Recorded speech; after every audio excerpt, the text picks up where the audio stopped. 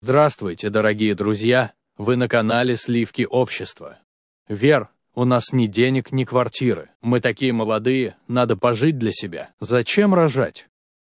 Но несмотря на эти страшные слова и изматывающий токсикоз, Вера твердо решила родить ребенка от любимого мужчины. Он будет точно такой же, только маленький и совсем мой. Такого ребенка я и родила. Сын был один в один похож на Юру. Актриса Вера Сотникова в 90-е считалась одной из первых красавиц нашего кинематографа. Мужчины роем велись возле нее. И это не просто слова, так и было на самом деле. Актер Андрей Соколов, известный продюсер Ренат Давлетьяров, немецкий миллионер Эрнст. Это далеко не весь список. В одном из интервью Сотникова назвала себя Казановой в юбке. Когда Вере было 28 лет, она приметила молодого и красивого артиста Александра Фадеева, который сейчас выступает под псевдонимом Данка. Он был младше звезды телевидения на 10 лет. Вера первой сделала шаг и передала ему записку со своим номером телефона. Мать Данка была категорически против его интрижки с уже тогда очень известной Сотниковой, что стало одной из причин их расставания, хотя по сей день Александр тепло отзывается о бывшей возлюбленной. «Вера была моей первой настоящей любовью, с ней у меня был лучший секс», заявил Данка в программе «Звезды сошлись». В 2000-х Сотникова стала еще и телеведущей, Зрители, в особенности зрительницы, писали ей письма, задавали вопросы про свою нелегкую женскую долю. А все потому, что сама Вера пережила в своей жизни не одну личную трагедию и лучше любого психолога могла посоветовать, подбодрить и утешить. Это сейчас Сотникова обеспеченная, известная актриса, которая может себе позволить многое. В финансовом плане и в любовном опыт у нее обширный. А в конце 70-х она была в числе многих нищих провинциалок, которые приехали покорять Москву своими талантами. В случае с Сотниковой, в буквальном смысле, она приехала учиться на актрису. Совсем молоденькая, она не имела никакого любовного опыта. Новый город, студенческая жизнь, посиделки с однокурсниками. Знакомых у Веры стало значительно больше, чем в родном Волгограде. На одном из студенческих сабантуев Вера и познакомилась с Юрием. Молодой человек был другом мужа ее подруги. Я была сражена на повал. Высокий красавец с серо-голубыми глазами, рисует, много знает об искусстве, эрудит, гений, талант. По словам Юры, он работал помощником реставратора Пушкинского музея. Юная Сотникова принимала слова Юрия за чистую монету, но и не дал ни разу усомниться в своих профессиональных качествах. Позднее окажется, что все слова о работе в музее вранье.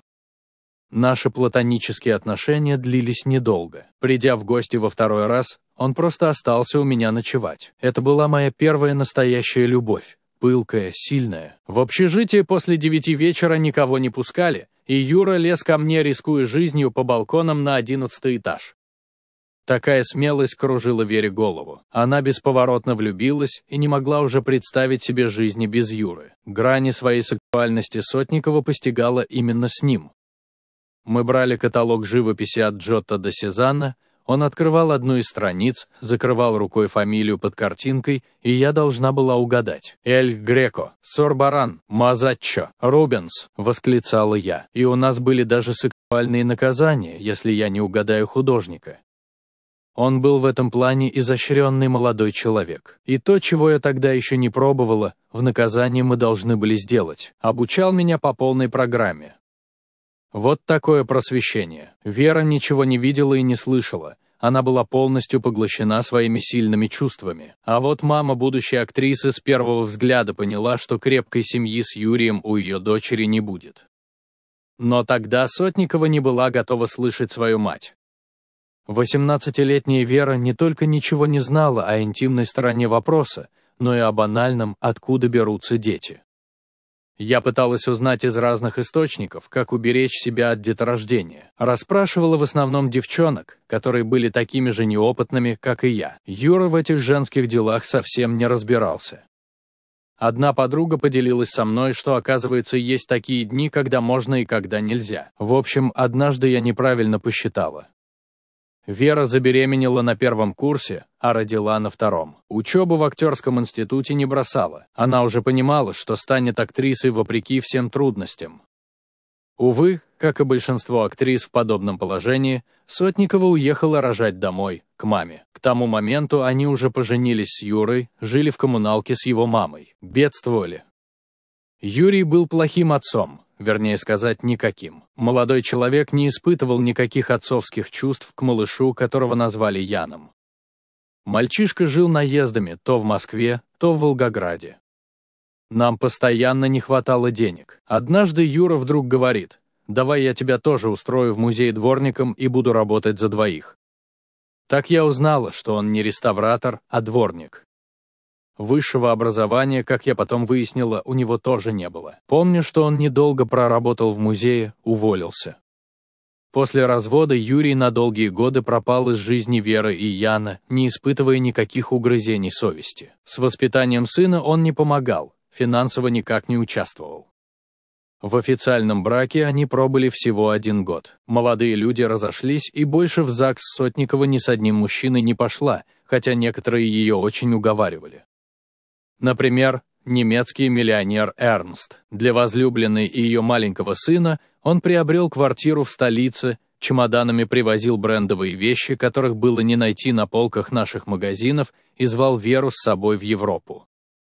А Сотниковой нравилась ее свободная жизнь, к тому времени к ней уже пришли деньги и слава. Сын был обеспечен, хотя по-прежнему редко видел маму. Она постоянно моталась по съемкам и гастролям. Когда актрисе было 33 года, она увела мужчину у самой Аллы Пугачевой. Тогда она имела огромное влияние в тусовке и, возможно, могла отрицательно повлиять на карьеру Сотниковой. Вера впервые его увидела живьем на одной из вечеринок для отечественного бомонда. За соседним столиком в компании Аллы Пугачевой и Александра Буйнова сидел Владимир Кузьмин. Я сразу заметила, что он все время на меня посматривает. Где-то в три часа ночи Алла Борисовна с Буйновым ушли, а Володя остался и тут же пригласил меня на танец. Помню, взял меня за талию и замер. Музыка играет, я пытаюсь танцевать, а он стоит как вкопанный и глаз от меня отвести не может. Я остановилась. «Ну что, мы танцуем?» «Да-да», — отвечает и оторопело на меня смотрит. Потом Володя взял гитару и выдал сумасшедший концерт. Позже он признался, что хотел таким образом мне понравиться. Уже под утро предложил. Поехали дальше праздновать. Вместе с компанией других знаменитостей Сотникова поехала в пятикомнатный люкс гостиницы «Ленинград». Под утро все разошлись по домам, а актриса осталась. Так начался их роман. Когда я узнала, что этот номер Кузьмину снимает Алла Борисовна, сразу сказала «Вова, это ужасно. Поехали ко мне. У меня маленькая квартира, но своя. Оставаться в этом люксе для меня было невозможно. Спустя совсем непродолжительное время все их знакомые и коллеги знали об их отношениях. Знали и ждали реакции Пугачевой, которая обладала крутым нравом и с обидчиками не церемонилась. Друзья подшучивали. «Ну, Сотникова, теперь с карьерой можешь попрощаться», намекали на месть со стороны Аллы Борисовны. Но мести, к счастью, не было. Как-то мы с Вовой были в Доме кино, случайно встретили Пугачеву, она спокойно подошла, поздоровалась. Выпили по рюмке. Было видно, что она уже все про нас знает. Мне Вова никогда не рассказывал об их отношениях, я только знала, что у них был безумный роман. Это была красивая и сумасшедше талантливая пара. Владимира и Веру называли самой красивой парой нашего шоу-бизнеса, а они были счастливы, все делали вместе.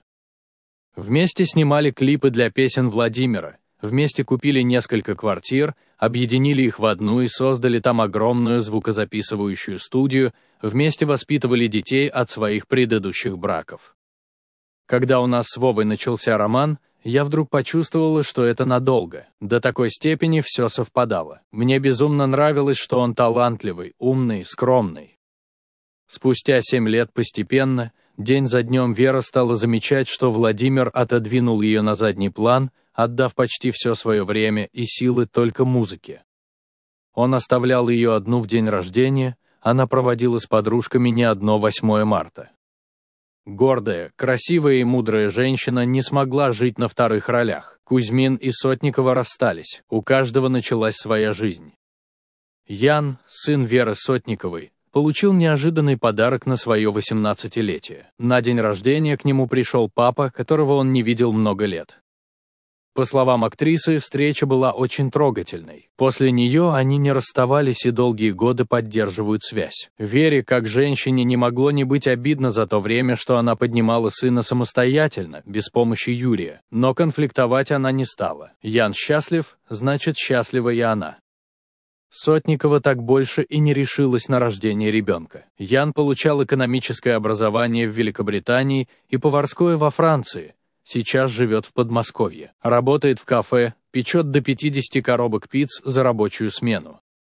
У сына актрисы двое детей, но вот жениться на женщине своих детей не спешит и не собирается. В наше время брак похож на лохотрон, потому что мужчина не получает никаких прав, одни обязанности. Извините, я сейчас за всех мужчин говорю. Что в брачном листе написано у мужчины? Жена делает, что хочет, и получает все, что хочет. Сотникова в семейную жизнь сына не лезет. Как обычно спрошу, что думаете? Как относитесь к такой любвеобильности Веры Сотниковой? Пишите свое мнение в комментариях ниже. И не забудьте подписаться, впереди много интересного.